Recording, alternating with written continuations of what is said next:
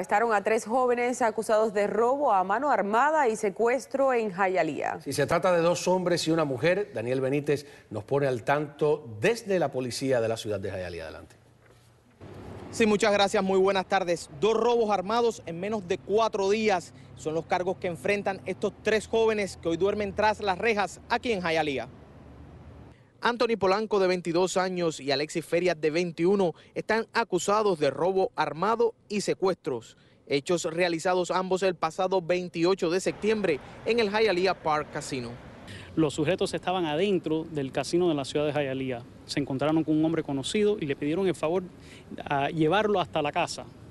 Ellos ya una vez en camino para la casa, el primer sujeto, Palanco, ah, se arma con un arma de fuego y a punta de pistola obliga que la víctima se devuelva al casino a robarse dinero que estaba dentro de la registradora. Ya una vez que tuvieron el dinero, lo obligaron que lo llevara a otro local, a donde Palenco se baja del carro con la tarjeta de débito y la clave y le saca dinero de su chequera.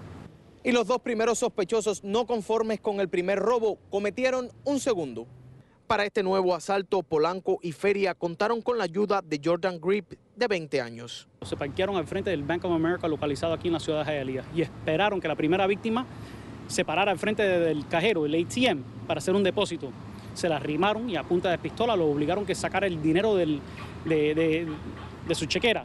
Ya una vez que tuvieron el, el dinero, ellos huyeron de la cena.